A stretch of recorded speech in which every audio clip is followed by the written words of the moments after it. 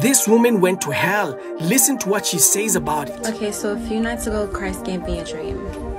It was where he took me to hell, and there was like legions of people standing and chained together.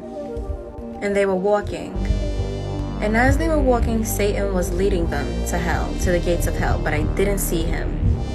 And as these people are walking towards the gates of hell, they have their heads bowed and they're busy groaning and their heads are moving back and forth like this. And one thing that I do remember from the dream is that I heard the clanging and clinking of the shackles and the cuffs around their wrists.